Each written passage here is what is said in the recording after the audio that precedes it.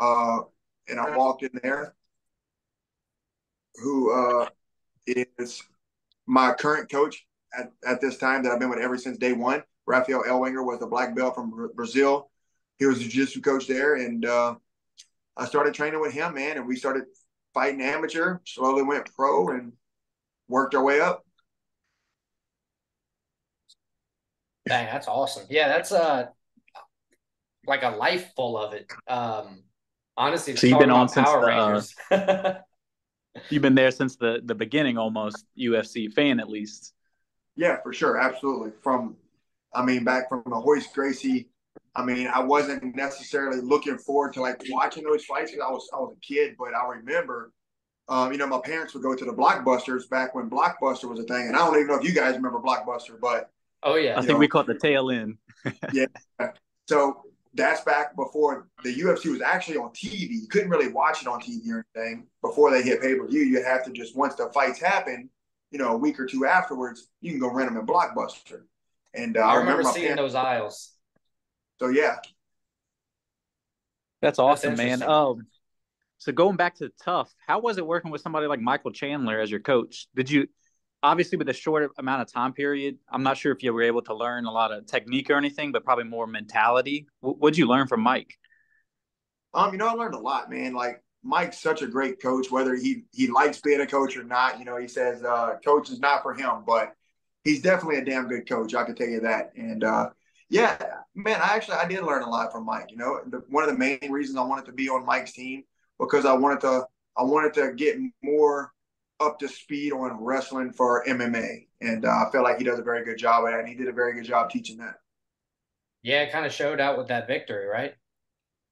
Yeah, man. I and I knew Austin's tough, man. I spent a lot of time with Austin. Very good guy, good friend of mine. You know, still even after this fight, but uh, you know, I knew how tough Austin was, and, and, he's not a small lightweight either. I might be on the little bit smaller side for the lightweight division, right? But he's a legit lightweight man. He's big, he's strong, and he can wrestle.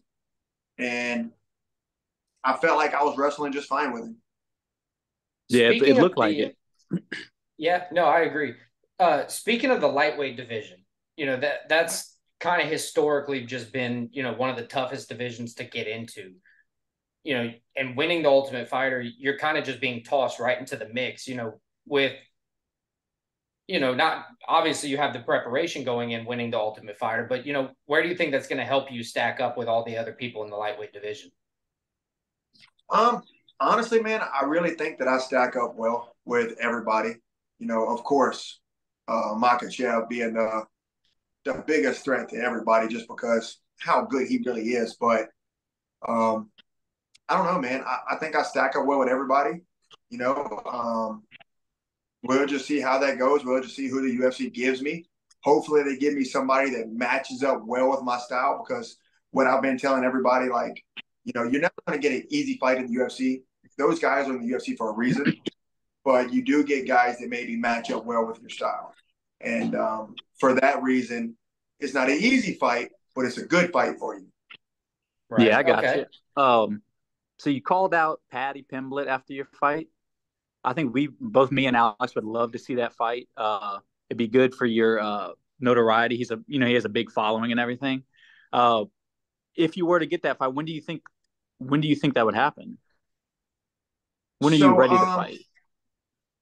I mean, I can fight tomorrow. I, I, literally took no damage in the fight, no injuries in the fight. You know, um, of course, I'm a little sore, and I still got a few things healing up from training camp right? Maybe maybe I got a few injuries from from the training camp. I had a really hard training camp, but um, realistically, I was since we went through this show, man. That was fighting twice in ten days, being there for six weeks, training every day, two times a day, um, and then the whole lead up and the preparation for the finals, training every day, sometimes two times a day.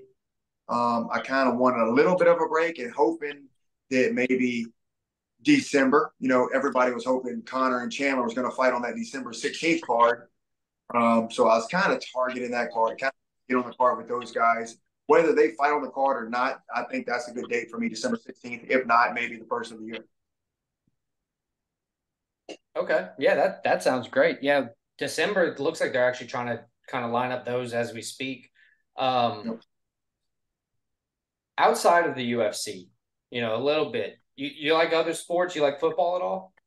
Oh, absolutely, man. Look, this couldn't have fell out at the perfect timing because now, you know, I get a little break, and that's one of the main reasons I didn't want to take a fight next month, just because, man, NFL is about to kick off the season.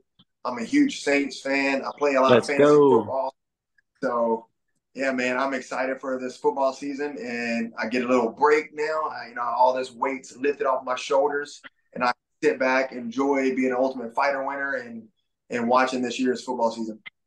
Absolutely. Oh yeah. Hey, what do you think your uh your favorite, you know, post weigh in meal is? Favorite post weigh in? Yeah, you do. You got that freedom to kind of just you know put put back on the pounds. You know, start start yeah, beefing yeah. up, getting ready to fight. What do you want to put in first? Man, I love a good Alfredo pasta. Chicken or shrimp or a Cajun Alfredo pasta is always my favorite. Okay, that's fair. It's hard to go wrong with that.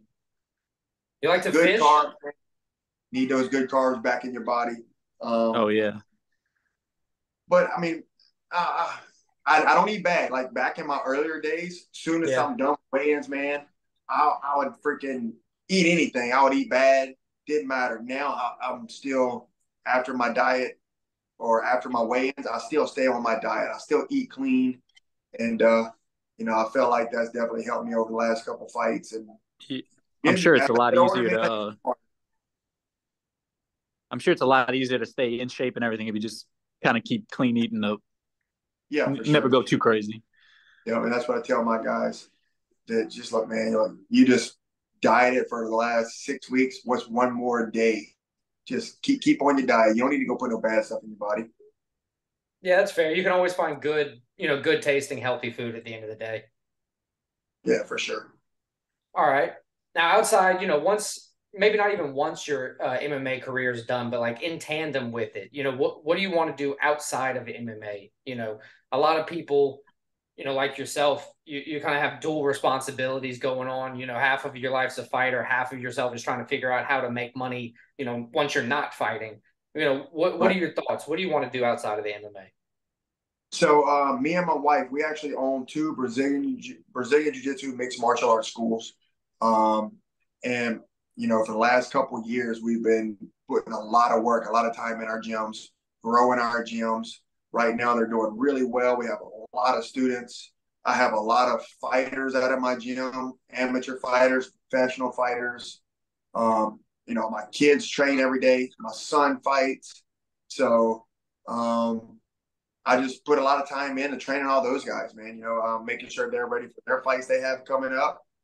And uh, you know, just running my gyms and keep on growing my gyms. Are they in uh, Denham Springs?